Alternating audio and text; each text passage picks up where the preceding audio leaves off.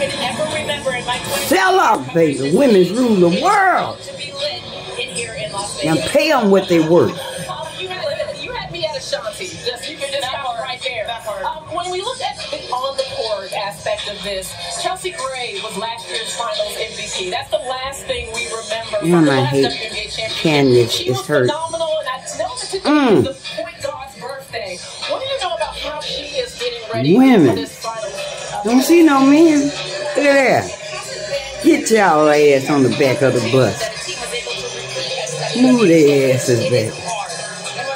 Now.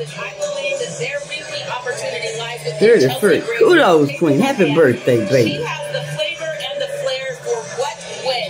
We saw her have not just a great Chelsea finals last year, but one playing of the on her birthday, girl. And she has continued to have that kind of impact on her team. She's shooting over 40% from This is gonna be dimes